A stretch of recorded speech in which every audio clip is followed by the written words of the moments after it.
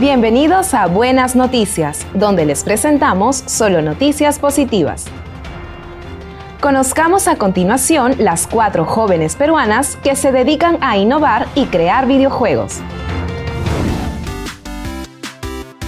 En una industria donde más del 60% de los profesionales son hombres, las jóvenes peruanas Paz Nieto, Vania Castañino, Lorena Novile y Sol María Sánchez resaltan por ser parte del porcentaje femenino que se involucran en la creación de videojuegos y entretenimiento digital.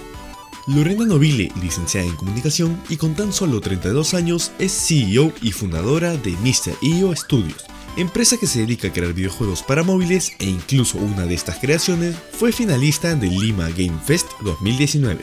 Paz Nieto, con tan solo 23 años, creó el videojuego Quero Sagrado, en alianza con la Municipalidad de Ollantaytambo en Cusco y la ONG Turismo Cuida. Además, tiene otra creación donde se aborda la violencia contra la mujer. Por otro lado, Vania Castañino, de 31 años, diseñó junto con el estudio Hermanos Magia el videojuego Arrow, que obtuvo reconocimiento en el Audience Award del Independent Game Festival y también el Excellence in Experimental and Excellence in Audio del BIC Festival. Además, fue nominado al Best Art Independent Game Festival. En USMPTV tuvimos la oportunidad de comunicarnos con ella, quien nos contó cómo es trabajar en un campo que, hasta hace muy poco, era ampliamente dominado por los hombres. Desde pequeña, las personas se te acercan y te dicen como, no, los videojuegos son para hombres es una cosa que ya no, en realidad no pasa, pero es de mi generación, ¿no?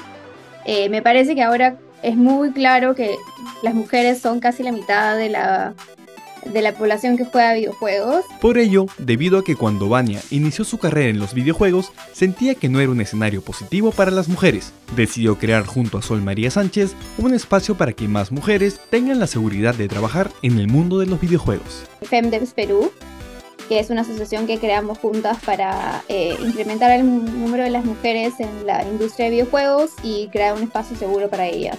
Finalmente, Vania confesó que la creación de Arrock y su lanzamiento fue un proceso duro, pero satisfactorio. Eh, hacer este juego fue un proceso tan largo que una vez que el juego ya había sido publicado en todas las plataformas, nosotros estábamos como súper contentos y ver que la gente le gustó el juego y lo estaban disfrutando y tenían como un montón de opiniones sobre el arte y que el arte estaba hermoso, eh, te hace sentir como, ah, valió la pena todo el esfuerzo que hemos hecho. Y finalmente, Sol María Sánchez fundó en el 2018 FENDEPS Perú, organización que busca agrupar desarrolladoras peruanas de videojuegos.